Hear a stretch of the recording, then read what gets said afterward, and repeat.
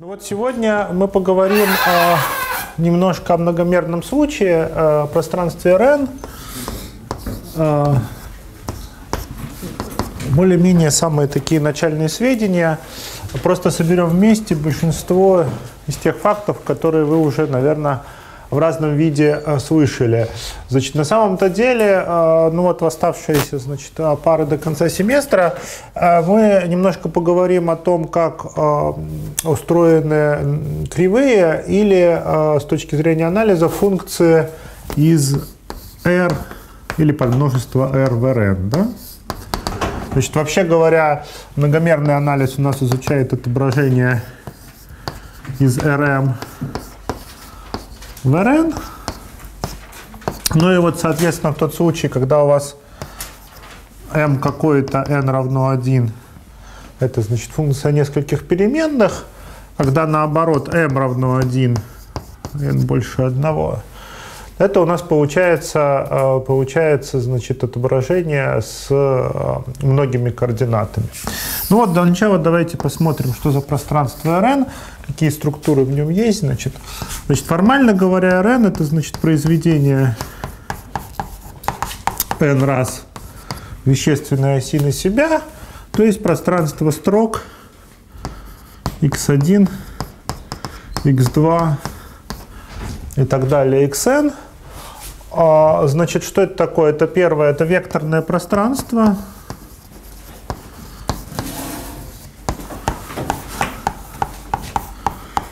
Векторное пространство.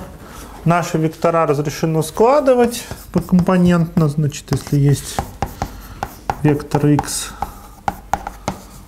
вектор y, что у него есть компонентная сумма разрешается умножать на, на число лямбда x1, xn, лямбда x1 и так далее лямбда xn. Хорошо. Дальше, а, а, что бы еще а, сразу бы хотелось, значит, поскольку мы занимаемся анализом, хотелось бы для начала завести а, какую-нибудь какую-нибудь метрику, да, на э, пространстве, значит, на пространстве, э, на пространстве Rn, то есть определить какое-то расстояние между точками x и y. Значит, этих метрик много, но самая стандартная, которую вы уже в школе, естественно, видели, это евклидова метрика. Евклидова метрика где расстояние определяется квадратным корнем из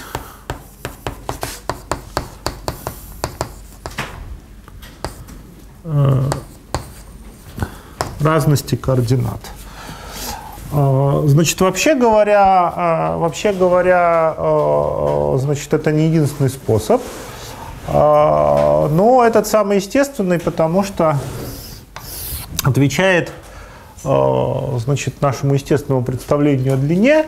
А, ну и, значит, можно это вывести значит, из теоремы Пифагора, если вы хотите. У вас а, есть разложение на n ортогональных ортов. Получается вот, такая, вот, вот, вот, вот, вот, вот, вот, вот такое вот расстояние. Значит, другой способ записать это расстояние это следующий. Давайте определим значит, вектор x.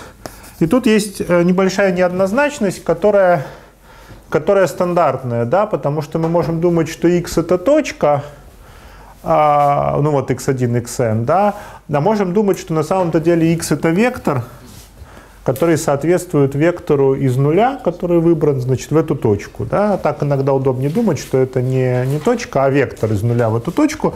И тогда, значит, есть стандартная функция, функция длины вектора, который, конечно же, выглядит вот так, а расстояние по вот этой длине тогда будет длина вектора x минус y. Да? Хорошо. Ну, дальше, как только у нас есть метрика, мы можем говорить о сходимости, ну и в частности мы можем говорить о топологии да, на пространстве Rn, о стандартной топологии на пространстве Rn. Стандартная топология. Значит, э, как топологию задать через метрику, напомните мне. Да, значит, в качестве базы топологии э, взять всевозможные открытые шары. То есть, э, значит, шар радиуса эпсилон вокруг точки x, это те точки y, такие, что расстояние от x до y строго меньше эпсилон. И нетрудно доказать, что это база топологии. Стандартной топологии на стандартной топологии на РН. А, значит, э, какие еще есть, э, какие еще есть структуры в РН, значит, дополнительно к тому, что мы считаем, что точки составляют векторное пространство? Кто скажет?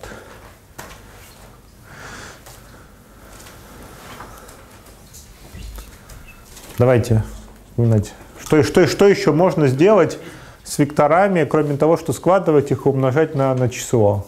Если... Да, есть еще скалярное произведение, да, значит, это некоторая дополнительная структура, которая, вообще говоря, не в каждом э, векторном пространстве присутствует. Значит, скалярное произведение – это что такое? Значит, есть скалярное произведение.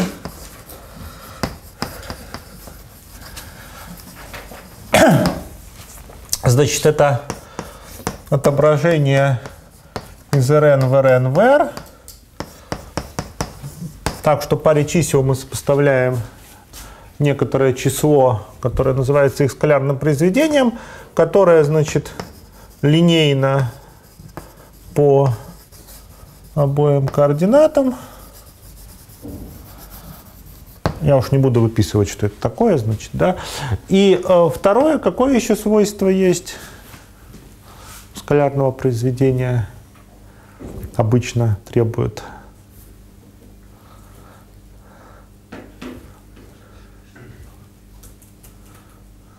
Ну, какое бы естественное свойство требует от скалярного произведения, кроме линейности? Что? Нет, это определение перпендикулярности. Ой, э, хорошо, симметричность. xy равняется yx. Э,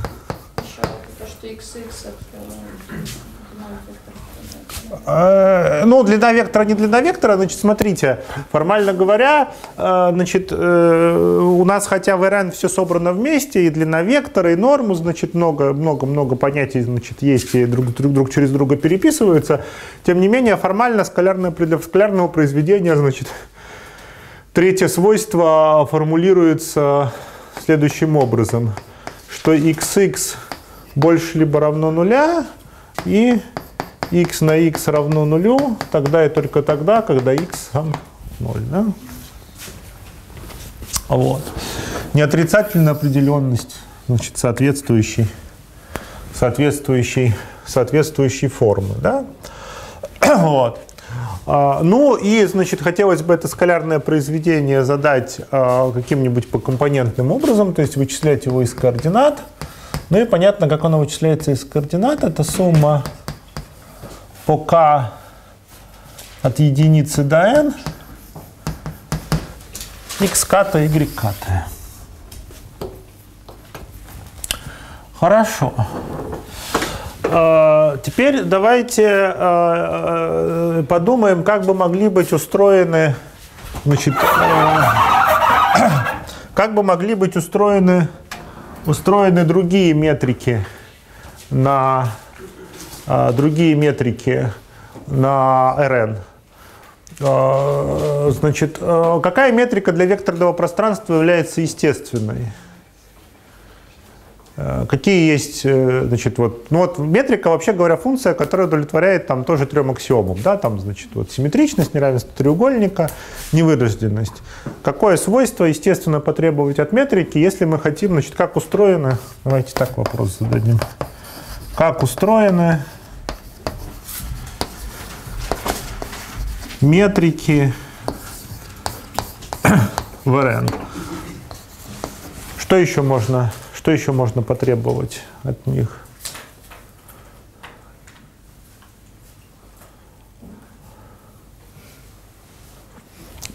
Ну, смотрите, давайте так. Для начала, в векторном пространстве э, какое есть, какие есть естественные отображения, которые бы сохраняли метрику? Нет, проекция не сохраняет. А, да. Значит, э, в векторном пространстве, вообще говоря, абстрактном, всегда есть операция трансляции. Да? Значит, это простая штука. Значит, если у вас есть фиксированный вектор y, то есть отображение, которое x ставит соответствие x плюс y, правильно? Вот. Значит, это отображение называется трансляцией на вектор y. И вполне естественно, чтобы э, вот эта самая операция трансляция у нас э, не изменяла расстояние между точками. Да? Поэтому, значит, естественным образом значит, можно потребовать свойства от метрики, чтобы метрика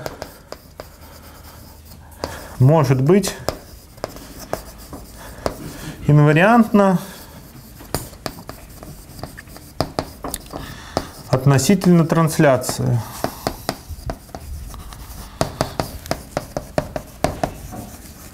Значит, это просто свойство, что расстояние от x до y равняется расстоянию от x плюс z y плюс z для любого z.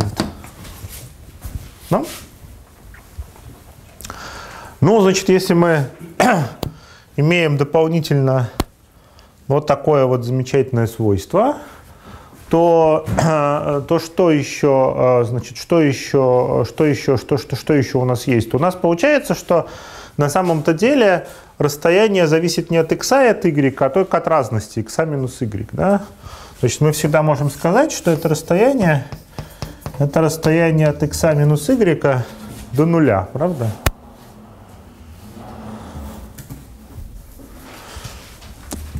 Давайте теперь поймем, что все на самом-то деле зависит у нас от функции одной переменной, да, вся, вся метрика. Вот. Давайте это расстояние будем обозначать расстояние от точки x до нуля в случае, когда метрика инвариантна относительно трансляции, будем обозначать вот так вот и назовем это расстояние нормой вектора x.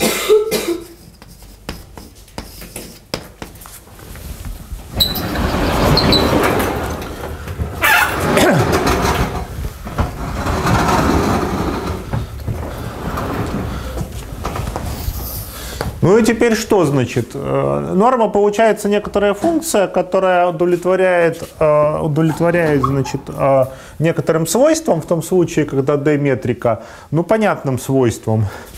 Значит, первое, что сразу видно, что норма x не отрицательна, норма x равна нулю, тогда и только тогда, когда x равняется нулю. Да? Сразу получается. Дальше сразу получается что? Сразу получается э, свойство, что э, э, у нас э, э норма э, x равняется норме минус x, правда? Потому что здесь x и y можно поменять местами. У нас поменяется местами, у нас поменяется местами Э, поменяется знак вот этого, вот, вот этого, вот этого члена. Дальше нетрудно видеть, что норма x минус y не превосходит нормы x плюс нормы y, любых x и y. Это значит просто написано, что расстояние от x минус y до точки 0 не превосходит расстояние от x до 0 плюс расстояние от 0 до y, правда? А это расстояние от x до y. Неравенство треугольника. Ну и, значит, вот это неравенство, а, естественно, чаще всего записывают или принимают за данные в зависимости от чего, от нормы вы идете или от трансляционной инвариантной метрики. В таком виде, значит, неравенство на норму, что что норма x плюс y не превосходит нормы x плюс нормы y. Сейчас вот вопрос, а что написано нормой? Что? Вот написано нормой кого? Доктор вектор x. А, вектор X, да. Э, Хорошо. Давайте я попытаюсь писать печатными буквами, чтобы... э, Норма вектора x. А, Хорошо, какие еще есть э, очень простые, э, значит, вот у нас получились вот такие вот свойства. Есть еще одно очень простое свойство, которое часто от, э, от метрики в векторном пространстве требует, и которое нас, значит, приведет к э, последней, э, последней значит, э, аксиоме, которая называется нормой. Значит, в векторном пространстве есть трансляция, да, можем сдвигать все на один вектор, а еще есть стандартное отображение гоматетии, правда, когда просто вектор x переходит вектор лямбда x, где лямбда какое-то вещественное число. да. Вот. Ну и, соответственно, э, значит, хотелось бы, чтобы относительно гоматетии себя функция тоже хорошо вела. То есть, если мы рассмотрим расстояние от точки лямбда x до нуля, то это было бы то же самое, что модуль лямбда на расстоянии от x до нуля. И тогда получаем последнее свойство или аксиоматическое задание нормы, что норма лямбда x это модуль x умножить на норму x. Хорошо.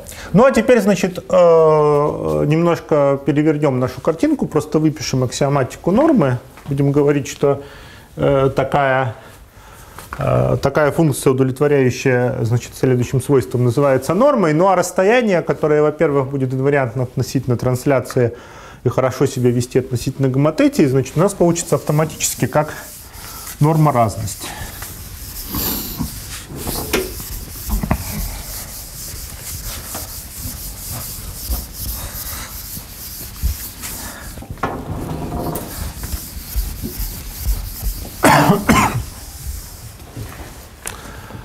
Значит, определение.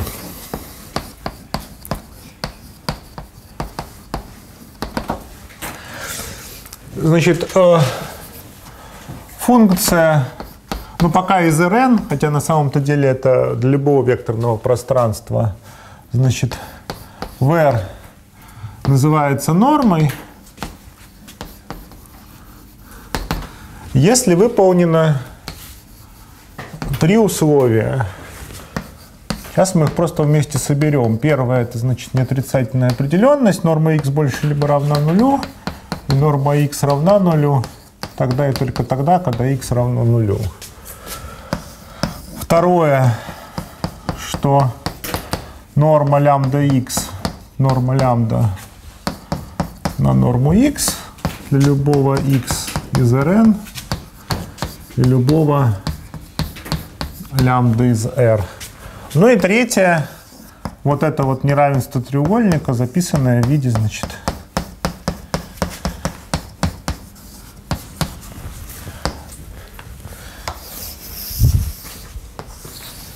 в виде естественного, естественной вещи. Ну вот, э, значит, стандартное евклидово расстояние, э, стандартная евклидова норма, длина вектора x, норма. Для этого, формально говоря, нужно доказать, э, доказать еще неравенство треугольника, да, потому что первое очевидно, что там сумма квадратов нулю равна тогда и только тогда, когда все равно нулю. С умножением на лямбда тоже все понятно. Ну а вот это, это все-таки некоторое неравенство, да, которое Э, которое простое, но тем не менее требующее доказательства. Хорошо.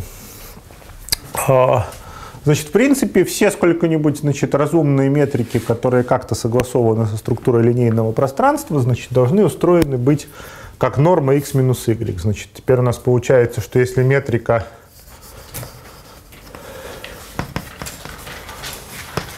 инвариантна относительно трансляция и согласовано с гоматетией, гоматетией, то расстояние от x минус y определяется нормой x минус y для некоторой значит, функции одной переменной, которая, которая является нормой. Хорошо. А есть стандартная евклидова норма? Она выделяется среди всех норм, э, выделяется э, каким свойством? Тем, что э, Евклидову норму можно задавать как квадратный корень из некоторого скалярного произведения. Да? Вот. Кто мне скажет, почему, почему если мы сейчас возьмем, я, я сейчас подберу какую-нибудь другую норму, она не будет согласована с каким-нибудь скалярным произведением. Кто-нибудь может сразу придумать, почему это так?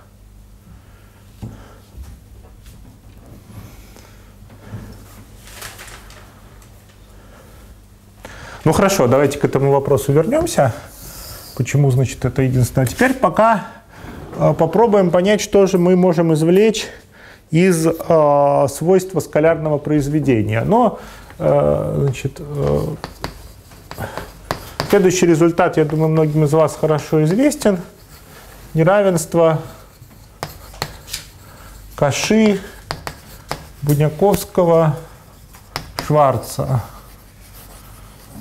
Значит, заключающееся в том, что если мы возьмем модуль скалярного произведения, то он не превосходит длины вектора x на длину вектора y. Да? Для любых x и y. Ну и как его доказывать, наверное, многим из вас тоже известно. Давайте это доказательство аккуратно повторим. Значит, что мы делаем? Мы рассматриваем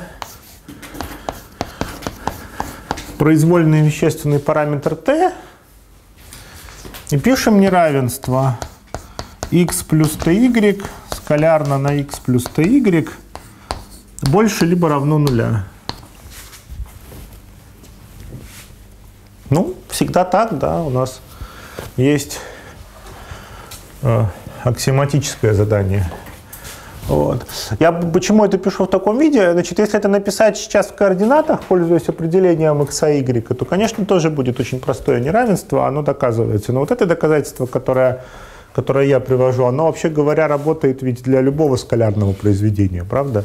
Я буду пользоваться только свойствами аксиоматическими скалярного произведения, а явным видом не буду пользоваться.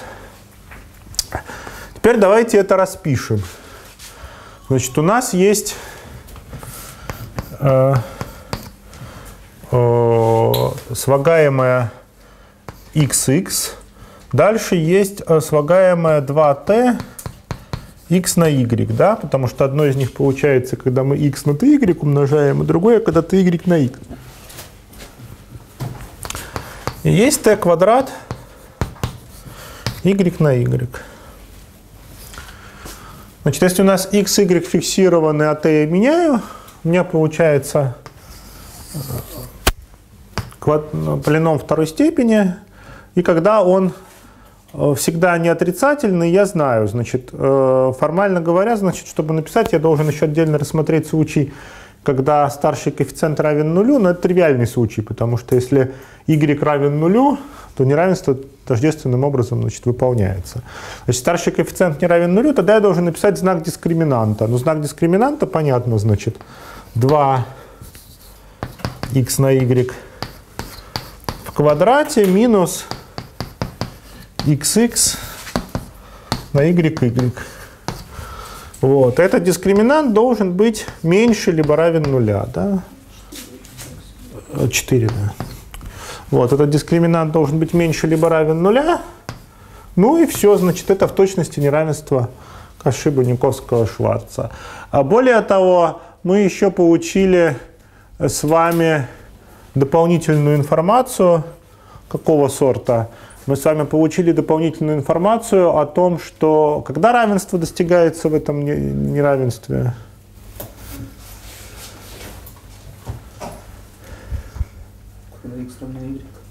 Ну, не только. Когда один из них ноль тоже? Да, не только. И когда x равно y достигается равенство, и когда один из векторов равен нулю, тоже равенство достигается. Еще в каких случаях достигается равенство? x э, является x, y линеарны, да, потому что почему? У нас, э, э, чтобы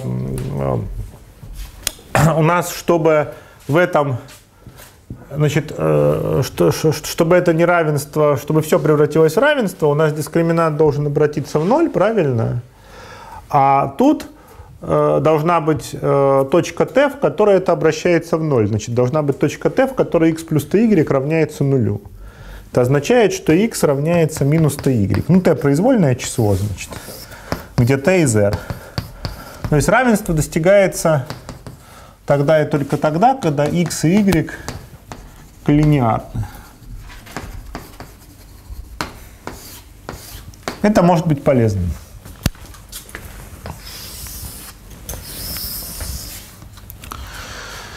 Теперь давайте, а, теперь давайте э,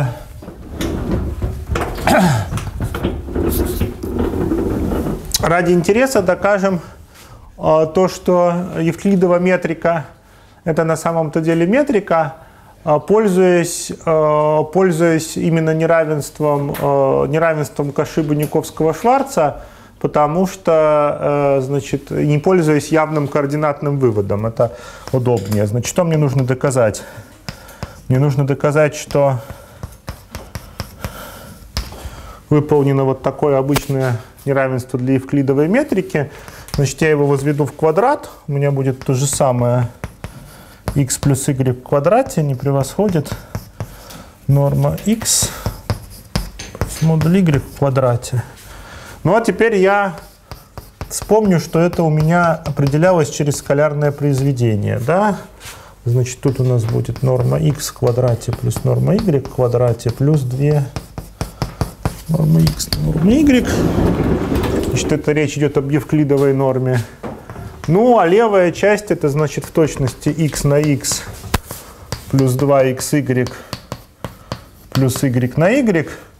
Значит, вот это, вот это, вот это и вот это сокращается, остается в точности неравенство Кашиба-Никовского-Шварца. Вот.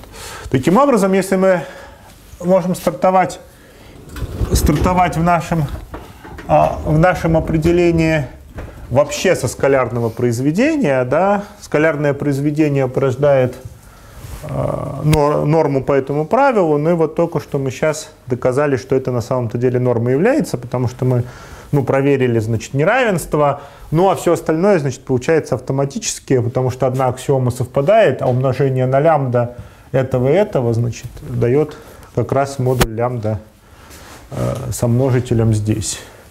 Поэтому, в принципе, вам в вашем пространстве достаточно задать скалярное произведение, ну, из которого, значит, все, э, все одно, э, одно за другим потянется. Хорошо. Давайте какие-нибудь примеры дадим норм, которые не, не вполне, значит, не вполне евклидовые, а какие-нибудь другие.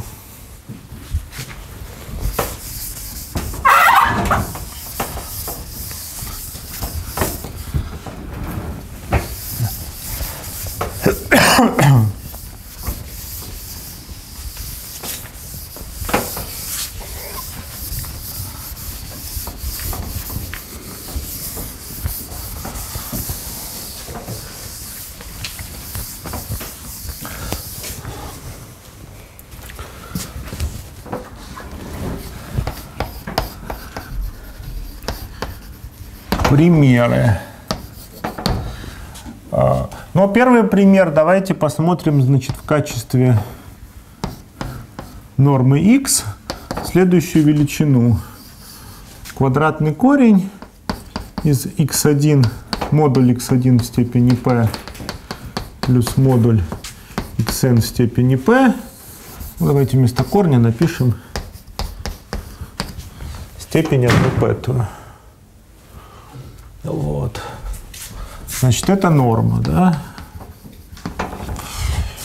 Э, есть более простой вариант нормы. Э, значит, это норма, а теперь кто мне скажет, это норма при каких, при каком p? Ну вот при p равном двойке это просто она совпадает с евклидовой, да? При каких p это будет являться нормой? При натуральных точно. Да. При p натуральных точно, ну хорошо, а при каких еще? Формально говоря, мы значит, можем сюда более-менее вещественное число любое ставить, правда?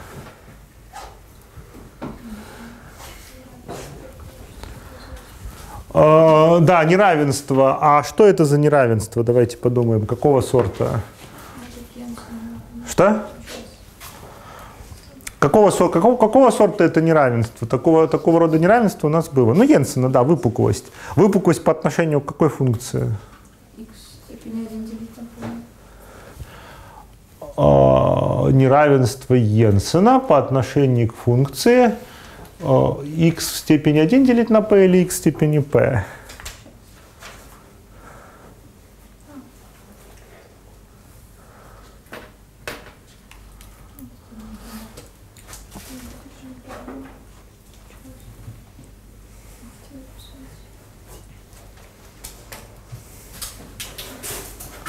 Ну, x в степени p, правда? Потому что нам, нам, требуется, нам требуется выпуклость, выпуклость функции x степени p. Для этого, значит, мы берем вторую производную. Вторая производная это p на p минус 1 на x степени p минус 2. Ну и дальше видно, что для того, чтобы она была не, не отрицательна, что нам требуется? Нам требуется, с одной стороны, во-первых, нам требуется, чтобы p было больше нуля, потому что иначе тут будет плохо с, с определением этой штуки в нуле. Да? Значит, э, p больше нуля, а с другой стороны, чтобы знак этот был какой нам нужно, нам нужно было, чтобы p больше либо равно единице. И действительно, при p больше либо равном единице это норма. Это можно проверьте. Э, Второй способ, естественный способ задать, это написать максимум по йод модуль x йод. Просто берем, пишем максимальную координату, тоже вполне себе, вполне себе получаем, получаем, получаем норму. Вот. Третий способ, давайте я его напишу для, э, для, p, для p равного 2, но на самом-то деле, значит, можно, его, можно комбинировать его с первым. Это взять и некоторые оси, значит, у нас вот есть гомотетия, да, которая все координаты растягивает в какое-то число раз. Это не очень сложное свойство. А можно рассматривать афинные преобразования, да, взять одну координату, растянуть, или разные координаты растягивать разное число раз. Значит, если у нас есть набор чисел а1 на n, все из них больше нуля, то можно рассматривать, значит, э, квадратный корень из а1 x1 в квадрате плюс и так далее, плюс ан xn в квадрате.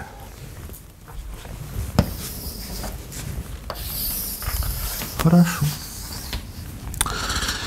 Э, Как еще можно Э, можно думать о норме. Еще о норме можно думать следующим образом. Можно рассмотреть вот такое множество. Значит, единичный шар, только не в евклидовой метрике, а в норме. То есть множество векторов x, таких, что норма не превосходит единицы. Э, каким свойством обладает это, это, этот объект?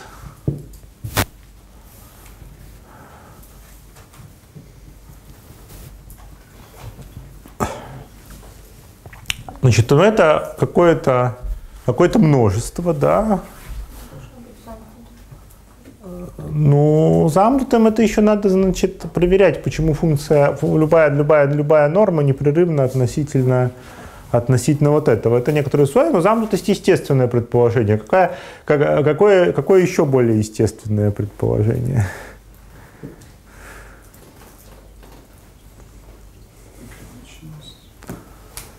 Ну, ограниченность это опять же вы пользуетесь тем, что вы знаете, что, что норма, значит, э, нечто. Э, что мгновенно следует из аксиом? То, во-первых, симметричность относительно нуля, правда? И выпуклость. Ну, выпуклость действительно, потому что если у нас есть x и y, и есть некоторое число альфа, то норма альфа x плюс 1 минус альфа y не превосходит, значит, альфа от, от 0 до единицы. Альфа на норму x плюс 1 минус альфа на норму y не превосходит 1 в том случае, если я изначально знал, что норма x и норма y не превосходит одного, да? Вот. Поэтому в любом случае, чтобы не было это центрально симметричное, симметричное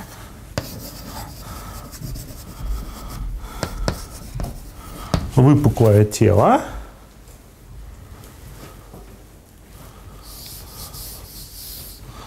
Хорошо. Теперь давайте порисуем, значит, картинки. Вот. И понятно, что это тело, если оно просто дано изначально как тело, оно норму тоже автоматически задает какую-то. Почему? Потому что потому что если вы знаете, значит, э, поскольку вы знаете свойство, что можно умножать на скаляр, скаляр выносить из-под знака нормы, то вам достаточно знать, значит, для любого из коллинеальных векторов его норму. Все остальное получится автоматически. Давайте картинки порисуем.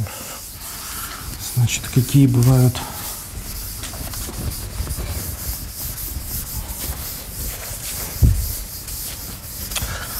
шары.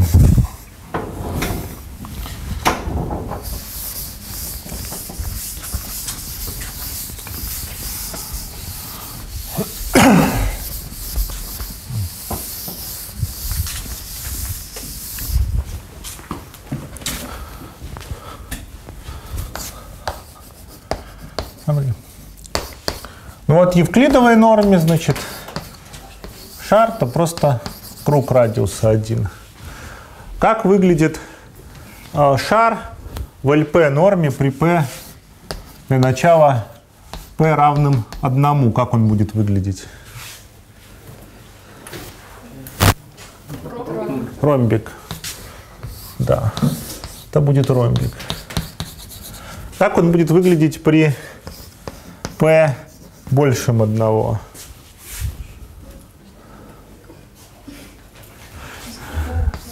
Да, значит, э, чуть-чуть более скругленный, чем, чем, чем, чем э, вот, вот, вот как-то вот так. Вот, а окружность будет внутри, потому что вот эта штука при P, при P большим двух, она всегда больше. Значит, будет вот такое вот какое-то тело.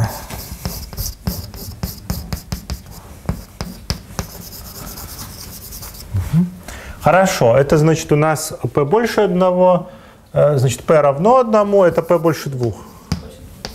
Это p равно двум. А, значит, ну от единицы до двух будет что-то посередине. А вот э, для случая, значит, вот э, второго, как будет выглядеть единичный шар? Это просто квадрат. Да. То есть, когда видите квадрат, на самом-то деле это не квадрат, это шар, просто подходящий, подходящий, подходящей норме. Вот. А, ну и, значит, э, нетрудно, э, нетрудно не, не, не, если вы попытаетесь нарисовать выпуклое центрально-симметричное тело, то вы увидите, что есть некоторая, некоторая сложность сделать его, сделать его неограниченным, правда?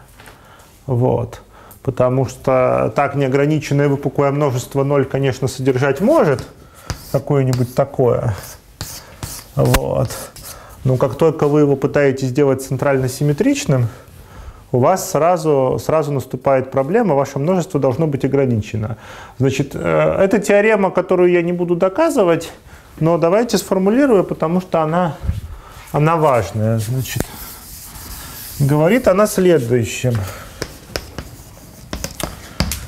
Э, без доказательства. Значит, в РН все нормы эквивалентны. Что это означает?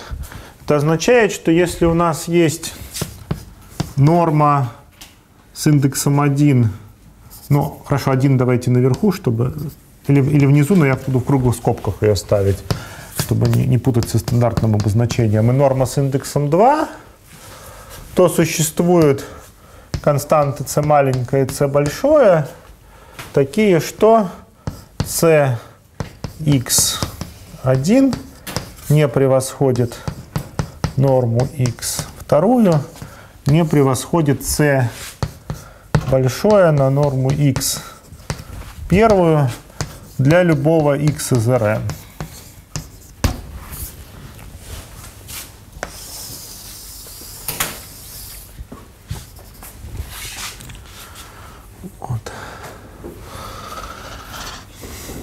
Значит, в качестве самостоятельного размышления, давайте я поставлю это упражнением с этими, вы можете подумать, э, как бы ее можно было доказать. А, ну, доказательство на самом-то деле, использую, какую, какую идею должно использовать. Ну, понятно, помните, мы обсуждали с вами, что выпуклая функция всегда непрерывна, правда? Ну, вот и тут можно завести какую-нибудь из, из какой-то выпуклости, которая у нас есть для единичного шара нормы, значит, э, изобрести какую-то непрерывность. А когда у нас есть непрерывная функция, например, по углу на ограниченном множестве, то мы знаем, что она достигает максимума, да, ну из этого, значит, более-менее все выводится. Вот. А, но а, из этой теоремы, значит, которую в курсе будет без доказательства, можно сделать один очень важный вывод.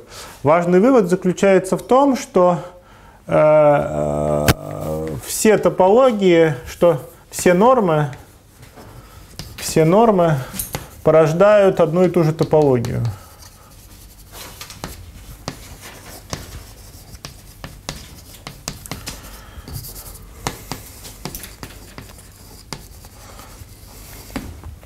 Все нормы порождают одну и ту же топологию, и это довольно важно, все нормы в РН.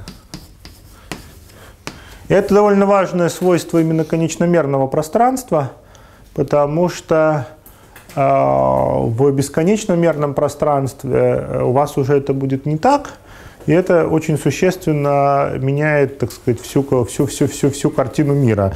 Как только вы попробуете рассматривать вместо конечных строк бесконечные, например, с тем же условием, ну, бесконечные, так что сумма квадратов конечна, с конечной длиной, да, вот, э, с конечной длиной вектора, то у вас уже норм там может быть очень-очень много разных, и это очень сильно портит жизнь.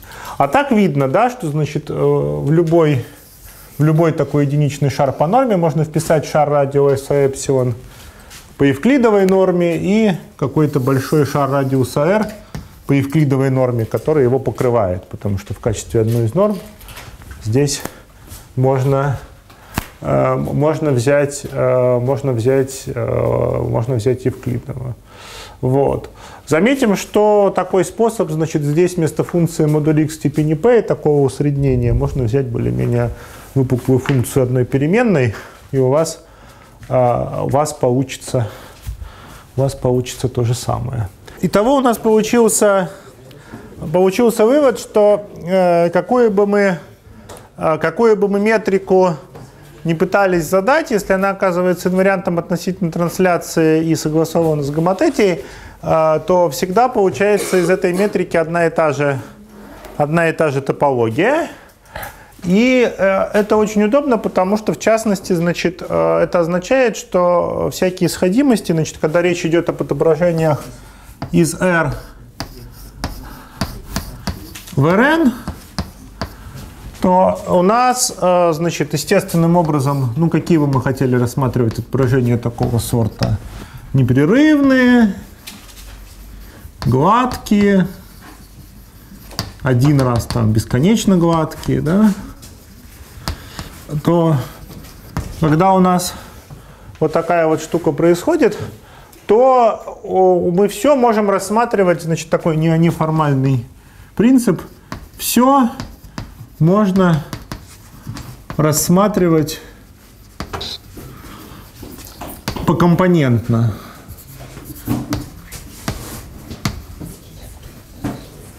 Компонентно.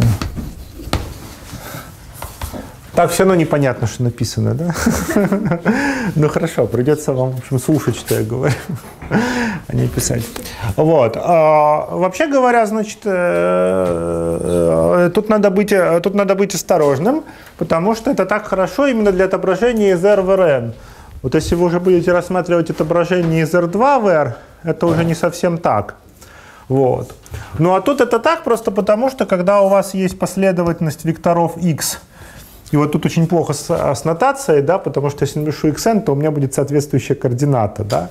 Значит, последовательность векторов xn, каждый из них это вектор э, xkt, вектор из rn, да, вот, то xkt стремится к нулю тогда и только тогда, когда любая его компонента xkl стремится к нулю, как числовая последовательность L от единицы до n. Вот. Точно так же определение непрерывности, значит, э, формально оно у нас может быть топологическое, да? Что такое непрерывная функция, если мы говорим о топологических пространствах? Функция, которая про- прообраз любого. Да, прообраз любого открытого открыт, но значит, на языке окрестности означает, что всегда можно подобрать э, окрестность в прообразе, которая целиком лежит в той окрестности, которую мы, значит, задали. Вот. Ну и поскольку э, наша окрестность, значит, мы вправе выбирать любую метрику, выберем Евклидову, у нас получается, что если э, норма x меньше нуля, а, меньше эпсилон, так это следует, что любая компонента xl по модулю меньше эпсилон для любого l от единицы до n. А в обратную сторону, если xl меньше эпсилон для любого l от единицы до n, так значит норма x не превосходит n на эпсилон. Поскольку n это размерность пространства, некоторая вещь фиксированная, то все можно проверять покомпонентно. И определение непрерывности, что функ, значит, функция f из r в Rn называется непрерывной, если из того, что xn стремится к x, следует, что f от xn стремится к f от x. Ну, значит, э, xn стремится к x у нас это обычная сходимость на вещественной прямой, а f от xn стремится к f от x, мы понимаем в том смысле, что модуль f от xn минус x стремится к нулю. Или что то же самое, что каждая компонента этого вектора стремится к нулю. И то же самое с гладкими отображениями. Потому что, значит, какое общее определение, значит, гладкости отображения? Общее определение гладкости отображения – это то, что оно хорошо аппроксимируется линейным, правильно? Значит, отображение f называется гладким.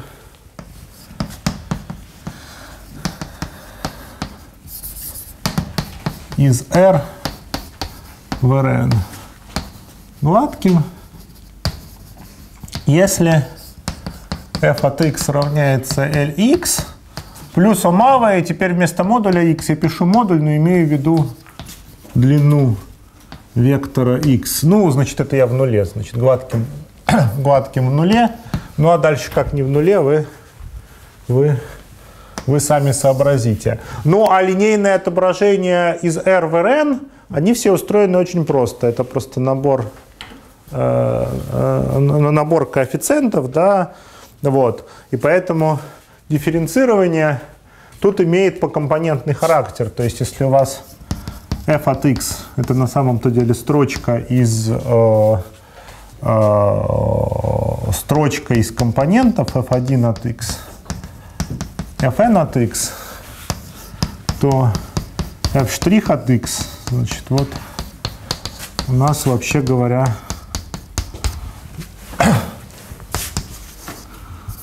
дифференцирование по компонентно.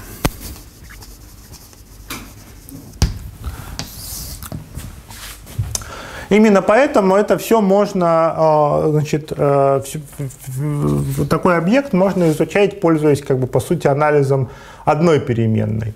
Э, Давайте я для примера приведу плохой пример, когда у нас есть отображение из R2 в R, где свойство непрерывности уже не столь очевидно.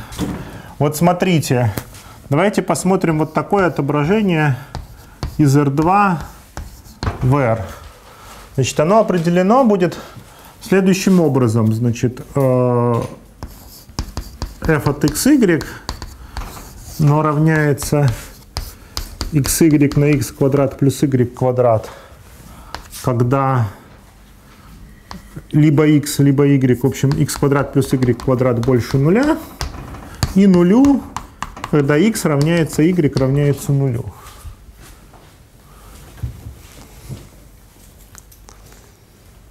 Явно задано, значит, вот своей формулой. Заметим, что с ним происходит удивительная вещь. А именно, что как только вы посмотрите ее, ее, его непрерывность покомпонентно, то оказывается, что покомпонентно он, он непрерывен на, на прямых. Потому что, например, если мы зафиксируем x фиксированно и не равно нулю, то никаких проблем в непрерывности по y у функции нету, правильно? Это э, штука, ко- у которой знаменатель отделен от нуля, да, то есть на каждой такой прямой, где x фиксировано, у нас непрерывность есть. Значит, если x равно нулю, то тоже никакой проблемы нету, правда, потому что вверху будет тождественный ноль, ну и в нуле, значит, ноль. Вот. Поэтому на кресте она тождественный ноль. Ну и с y то же самое. Если вы y фиксируете, значит, и меняете x, тоже будет непрерывность. Вот. Но если мы рассмотрим совокупность переменных, но именно, значит, у нас есть отображение из R2 в R, то непрерывности не будет. Почему? Кто мне скажет?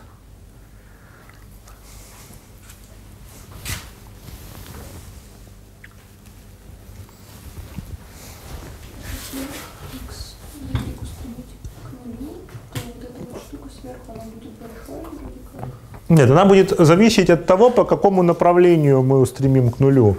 То есть, если мы рассмотрим вот такое направление x равно y, то есть вектор xx, и x устремим к нулю, то у нас, э, какой бы x бы ни брали, сколь угодно маленький, у нас, получается, будет функция f от xx равняется 1 второй, правильно? А по прямой она равняется нулю. Ну а если посмотреть f от x2x, получится что, 2 пятых, да? Ну, в общем, будут разные пределы. В точке 0 непрерывность по совокупности переменных, она потеряется. Вот. Потому что в зависимости от того, под каким наклоном вы подходите к этой точке, у вас будут разные предельные значения. При этом пределы вполне себе будут существовать, но... Нет. Вот. но быть различными. И вот такой сложности а, в том случае, когда у вас отображение из R в Rn, то есть многомерен только образ, у нас нету, потому что э, тут всегда можно все, все рассматривать по компонентной, по компонентной непрерывности такая-то одно и то же, ровно вот из этого простого соображения, что сходимость точек в Rn – это сходимость их по координатной. Ничего, ничего, значит, ничего больше мы здесь не можем сказать. Ну а если переменных было бесконечное число, было бы уже не так просто. Ну хорошо. Э, Значит, такое соображение мы, мы придумали. Э, Что еще, э, что еще значит, надо, надо сказать для общего сведения? Для общего сведения надо сказать, что несмотря на вот такое хорошее покомпонентное соображение, а непрерывное просто отображение из R может быть ужасным. Значит, мы обсуждали, что вот в случае, когда у нас есть просто непрерывное отображение из R, да, оно может быть там нигде не дифференцируемым, вот, или может быть, быть как канторова лестница устроена как-то э, как-то сложным образом, но тем не менее это все равно некоторая штука, которая, например, там делит, значит, это вот я график рисую отображение из, из R в R, тем не менее оно как-то, например, вроде, как видно, что оно делит, э, делит, делит плоскость на две части, да, как минимум. И, и тут никаких, значит, вопро вопросов нету, есть вопросы, значит, какие-то более тонкие. Но вот если мы рассматриваем просто непрерывное отображение, непрерывное отображение из R в R2, то оно может быть очень плохим. А именно, может так случиться, что у вас есть f из отрезка 0,1 в R2 так, что образ f это квадрат 0,1 на 0,1. Это вообще говоря контринтуитивно, правда? Потому что, казалось бы, когда у вас есть непрерывное отображение, это значит, что что-то, что вроде как вы в мел можете нарисовать эту кривую, да, по которой она идет. Ну вот она, конечно, может много раз там самопересекаться, но тем не менее, вроде хочется думать, что, значит, если она лежит в ограниченной области, что, по крайней мере, всю область она не может заметать. Но вот на самом-то деле это не так. Свойство непрерывности – это очень-очень слабое свойство, оказывается. И может так называться, что, может так оказаться, что э, непрерывная кривая заметает э, сразу весь квадрат. Кто знает, как эта кривая называется? Кривая, кривая пиано. Хорошо. Давайте, э, давайте эту кривую построим, чтобы было видно, что вот у нас есть такой, такой плохой пример.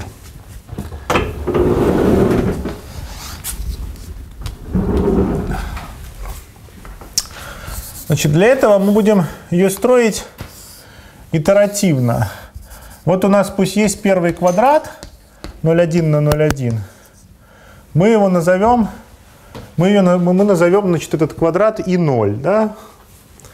И отметим центры, центры четырех квадратов в два раза меньшим, в два раза меньшего, в два раза меньшей стороной. Ну и соединим их кусочно-линейно. Да? Значит, у нас будет а, Б, С, Д. У нас будет некоторое отображение, значит, f от точки А, э, f от нуля у нас будет равняться точке А, f от одной четверти, что три кусочка, значит, от одной трети точки Б, f от двух третей точки С, f от единицы точки D. Ну, а между ними, значит, между ними продолжим линейно.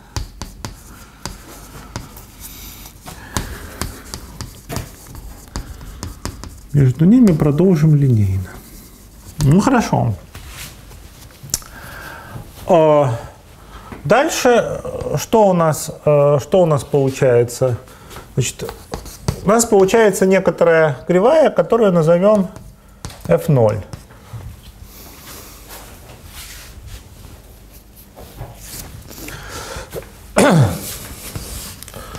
Дальше рассмотрим 4 квадрата следующего поколения. Значит, у нас будет и 1, 1, и 1, 2, и 1, 3, и 1, 4.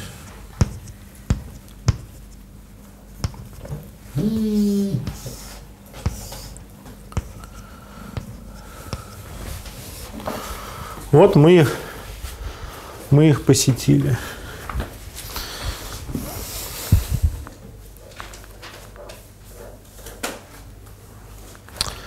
А, значит, вот эти условия мы оставим, заморозим их, да?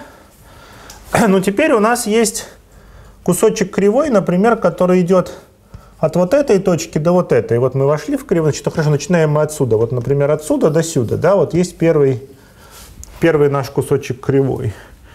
Значит, давайте его заменим на вот такой. Возьмем и обойдем в каком угодно порядке последовательно 4 вершины квадратов следующего уровня. А потом вернемся сюда. И таким образом, значит, кусок кривой вот этой вот от 0 до 1 шестой заменим на, заменим на обход на обход вот этих вот четырех квадратиков. Ну и здесь, тут здесь делаем то же самое. Мы доходим до... Вместо дохода до этой точки обойдем все четыре квадрата и вернемся сюда. И здесь тоже обойдем все четыре точки и вернемся сюда. И здесь тоже обойдем все четыре точки и вернемся сюда. Поскольку мы никак не контролируем э, какую-то гладкость или производную, у нас вполне себе получится, значит, э, следующего уровня отображения f от единицы. Значит, естественно, f от единицы от нуля все еще будет равняется a, единица от единицы все еще равняется d. И э, то же самое с b из c. Но попутно она еще обходит, э, обходит э, э, центры квадратов значит, второго уровня. После чего эту процедуру итерируем. Таким образом, у нас, у нас получается семейство f от n отображений из 0,1. Ну, все они будут лежать внутри квадрата, да. 0,1 крест 0,1. Но это пока еще вроде ничему, ничего особо, э, ничего особо э, нам вредного не дает, потому что, ну что, ну, ну, ну есть такие отображения и есть. Они все, значит, каждая из них кусочно-линейная.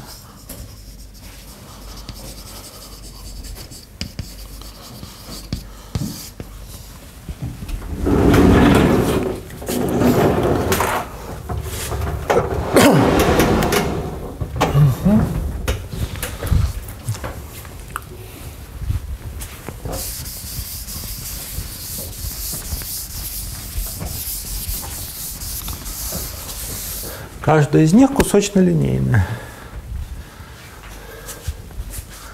Значит, что нам про них известно? Про них нам известно то, что они не очень сильно друг от друга отличаются. В каком смысле? В смысле расстояния между точками, поскольку мы Каждое следующее отображение совпадает с предыдущим по точкам соответствующего уровня. То есть вот у нас есть отображение fn. Оно обходит, ну помимо квадратов, значит, предыдущих поколений,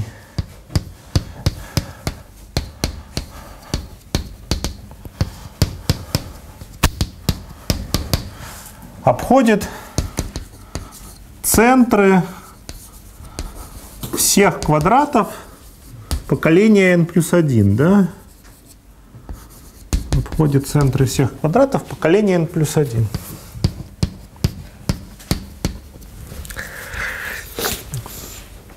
А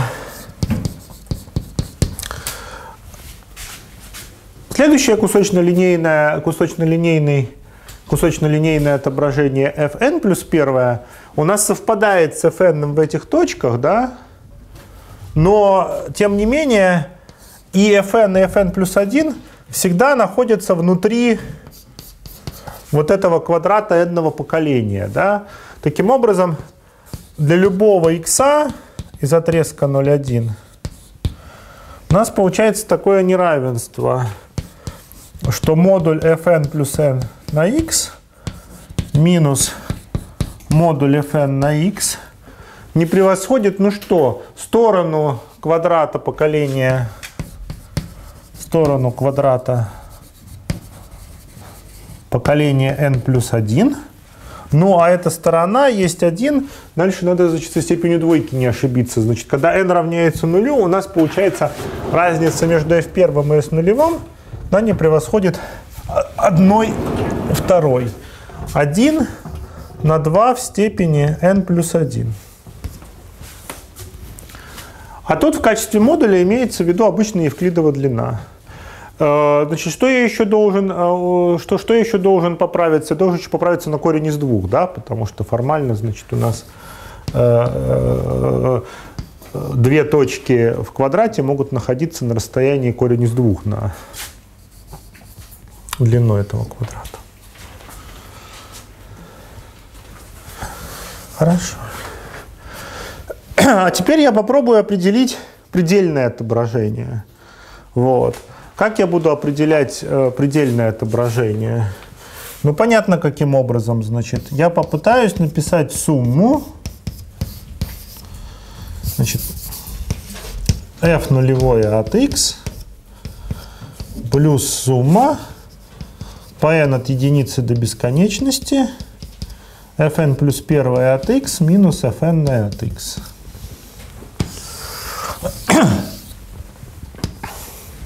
Ну, сумму я написать могу. Вопрос теперь, почему эта штука сходится. И мне нужна не просто ее сходимость, а какая? Кто мне скажет? Да, мне нужна равномерная сходимость. Вот.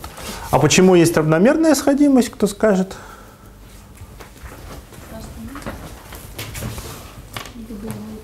Что?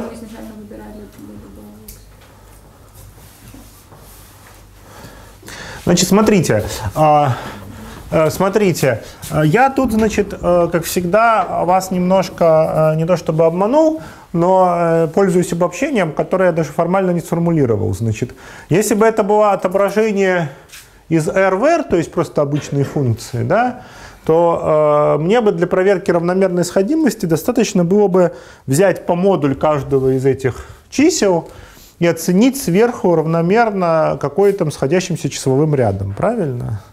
Значит, тут, естественно, это тоже имеет место, потому что вот, он, вот она моя оценка, а такой ряд сумма n от единицы до бесконечности корень из двух на 2 в степени n плюс 1, он, конечно, сходится, правда? Вот.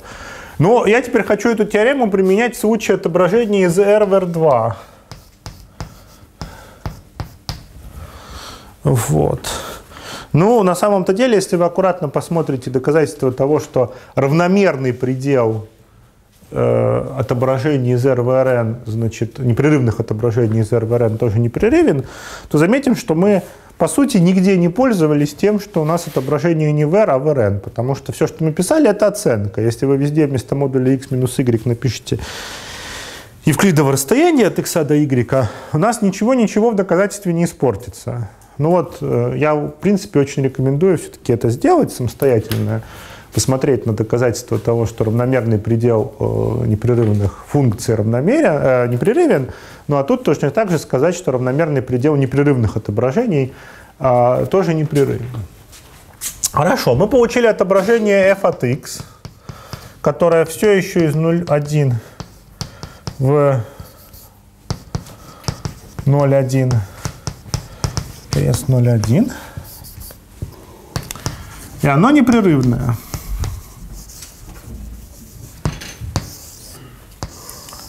И оно непрерывное. А вопрос, почему у него образ весь квадрат? Давайте придум- придумаем, почему у него образ весь квадрат.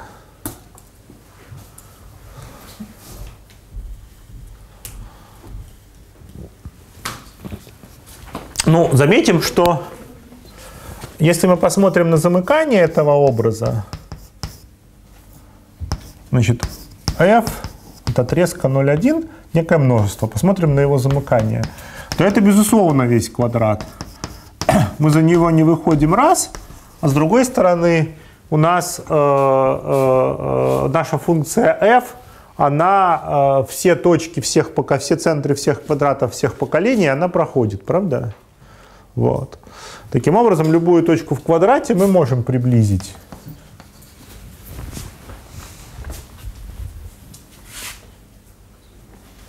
Вот. А, э, замечательно. Значит, замыкание все 0,1. А почему оно, почему само множество совпадает с квадратом 0,1, 0,1? Образ замкнут. Что? Образ чего должен быть замкнут Сейчас. непрерывной функции? Сейчас, давайте, давайте, давайте, давайте. Попробуем совсем общее топологическое утверждение. Значит, есть непрерывная функция, есть образ чего? Замок. Сейчас. У нас есть Компактно. Компакта, образ компакта, да. да. Вот. Значит, отрезок 0,1 у нас компактен, поэтому вот эта штука, она замкнута. Ну, а значит, совпадает со своим замыканием. F01. И мы построили кривую, кривую, кривую пиано, которая обходит все-все-все-все-все-все точки.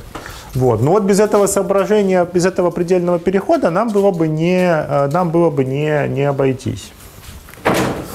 Вот. Заметим, что тут мы не контролировали то, что некоторые точки проходятся по много раз, ну и не страшно как бы. Не контролировали и не контролировали. Вот. Скажите, раз, почему f? Что? Почему f будет непрерывным? Потому что это равномерный предел э, непрерывных отображений. Давайте аккуратно напишем. Смотрите. Если это вызывает трудности. Так, о, вот у меня доска.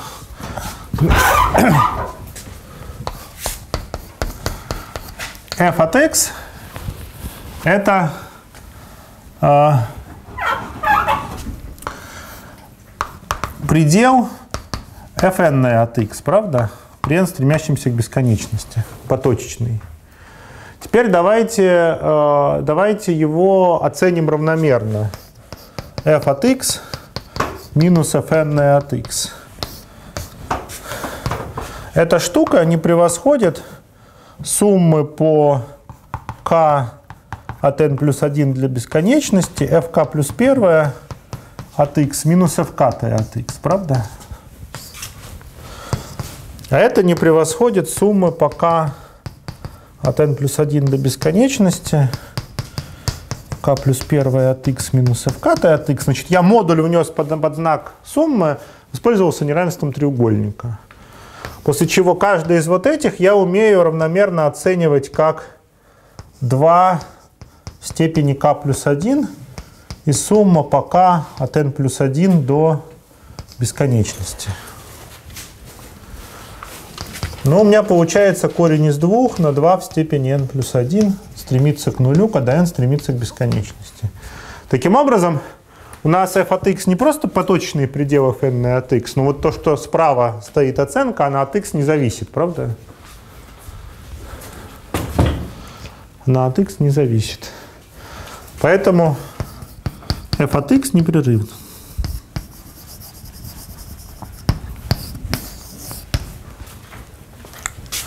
Хорошо.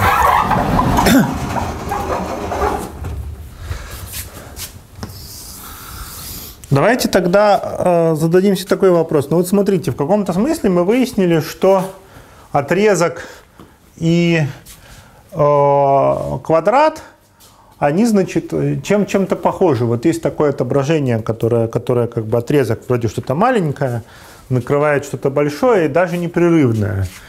А может ли так случиться, что отрезок 0,1 и квадрат гомеоморфны?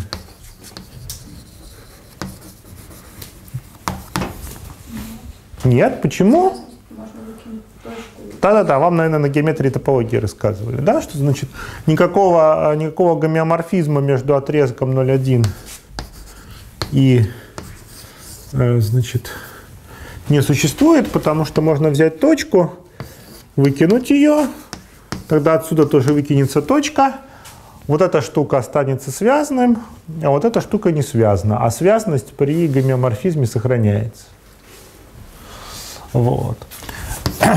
Ну, а если хочется просто объекцию между, между отрезком и квадратом завести какую-то, то понятно, да, как это делать. Вы просто записываете,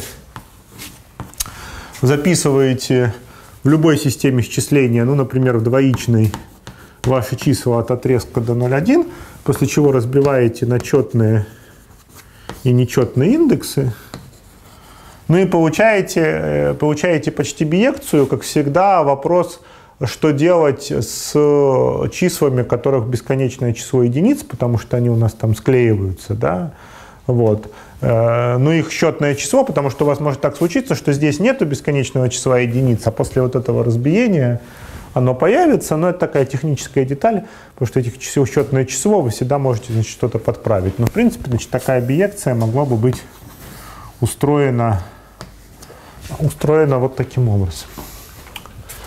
Хорошо. Поэтому, когда вы говорите о отображении из R в Rn, или что-то же самое, значит, такое отображение называется просто кривой геометрически. Да? Вот. Она может быть устроена очень-очень-очень-очень-очень хитрым образом. Вот. Ну, хорошо. А, значит, чтобы вот таких э, жутких примеров избегать, хочется э, завести какую-то гладкость, правда? Вот. Ну, давайте, значит, э, э, заведем гладкость и посмотрим, что мы из этого можем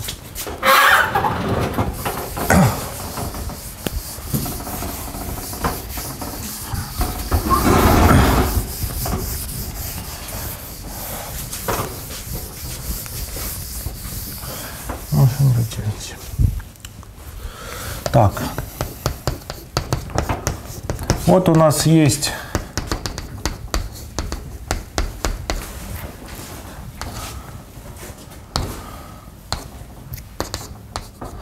правило покомпонентного дифференцирования.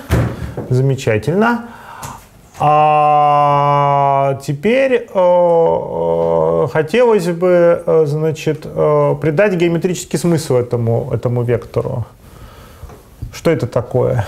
Значит, в случае функции одной переменной это у нас было э, тангенс угла наклона, да? А в случае, значит, многих переменных, или когда мы говорим о кривой, это касательный вектор. Правильно? У нас есть кривая. Ну вот, можно красиво рисовать картинки только в R2, хотя в R3 тоже можно. Значит, и вот этот вектор, это, значит, касательный вектор. Касательный вектор. У меня такой вопрос. А вот если я попытаюсь написать теорему Лагранжа, ну, для гладкой, естественно, кривой, значит, что f, значит, что для любых, для любых а и b гладкой f существует существует кси между А и Б. Значит, А и Б сейчас э, вещественные, значит, ну там где-то из области определения. Такие, что f от b минус f от a это вектор, это f' от кси на b минус a. Тут тоже вроде все хорошо, f' от кси вектор, умножаю я этот вектор на число, да? Кто мне скажет, верно будет эта теорема или нет? Ну вот так я аналог сформулировал, да, один в один.